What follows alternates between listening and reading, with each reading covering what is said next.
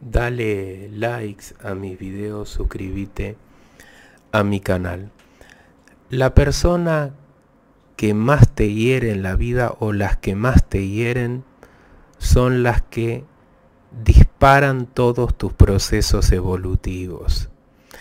Eh, nadie pasa por tu vida porque sí, o de casualidad, o por suerte. Hay un plan divino, hay cuestiones kármicas, hay contratos de almas que vienen de otra vida, en donde los dos han acordado encontrarse en esta vida y apoyarse mutuamente en un aprendizaje. Y ese aprendizaje puede ser un aprendizaje difícil de asimilar, como por ejemplo el aprendizaje del perdón. Cuando nos falta trabajar el perdón, cuando nos falta trabajar el perdón, creamos y atraemos eventos y situaciones.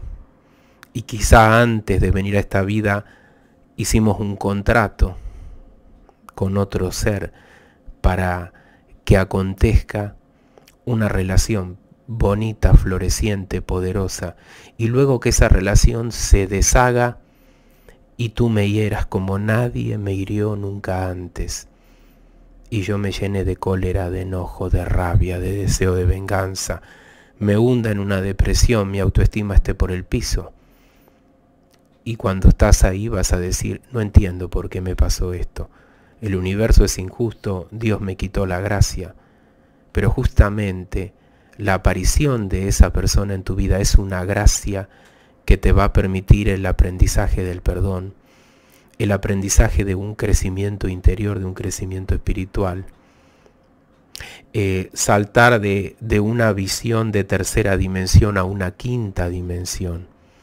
O sea, el dolor o las personas que te van a herir profundamente en la vida eh, te van a ayudar a evolucionar espiritualmente.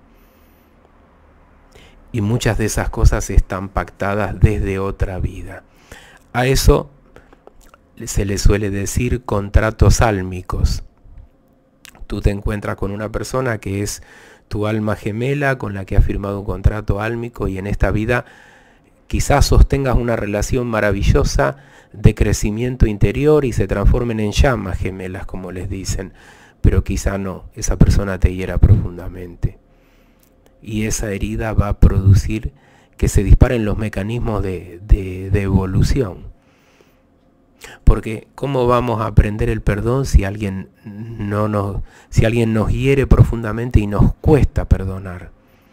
Si alguien no nos hace nada, nosotros podemos, o nos hace una tontería, nosotros podemos creer que sabemos lo que es perdonar, que sabemos lo que es amar, que tenemos empatía y, y que somos comprensivos, pero resulta que si esa persona nos deja de amar, nos hiere profundamente, nos vamos a dar cuenta que todas las cosas que nosotros creemos que teníamos se tambalean, se deshilachan y no entendemos cómo puede ser que no, nos hemos transformado en un manojo de energías que buscan venganza y castigo y, oscuridad y depresión y una catarata de emociones negativas. Es el aprendizaje, es el aprendizaje en este plano.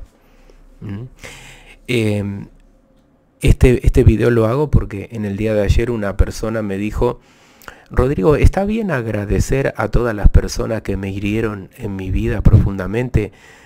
La verdad que a mí me parece genial, me parece que el que verdaderamente lo siente así y lo vive así es porque ha tenido una gran apertura espiritual, ha, ha dado un salto cuántico para poder hacer eso. A mí sinceramente me cuesta. ¿Para qué voy a decir una cosa que no es? Eh, me cuesta bendecir a todas las personas que han atravesado por mi vida y me han herido a mí o a mi familia. Pero lo, lo maravilloso que puede ser elevarse a tal nivel donde uno entienda que todo lo que ha acontecido en la vida de uno, especialmente lo, lo, doloroso, ¿no? que de eso estoy hablando, tiene la función de ayudarnos a crecer, de ayudarnos a madurar como persona, a volvernos seres más espirituales o, seres conectados o elevados hacia la quinta dimensión o en la quinta dimensión. A mí me parece fantástico si uno lo puede hacer, pero si uno lo puede hacer no como un postureo, ¿eh? o sea, simplemente yo digo que bendigo a todas las personas que han atravesado mi vida y que me han jodido, ¿no?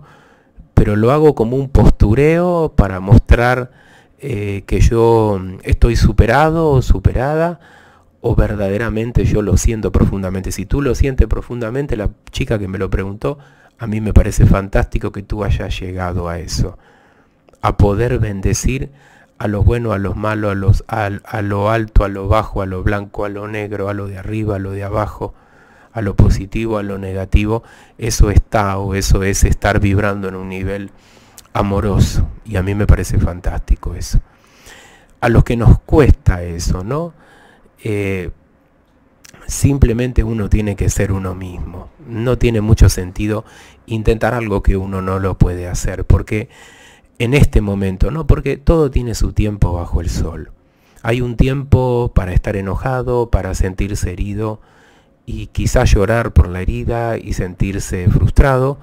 Y a partir de experimentar todo eso, de a poco se va desarrollando esa medicina interior, esa sanación interior. Entonces tú estás en un estadio de, ese proceso interior de sanación y no hay que apresurarse. Porque si te apresuras vas a, eh, vas a alejar eso que en realidad querés encontrar, no va a ser solamente un postureo. Un postureo es yo hago un video donde digo bendigo a todos mis enemigos.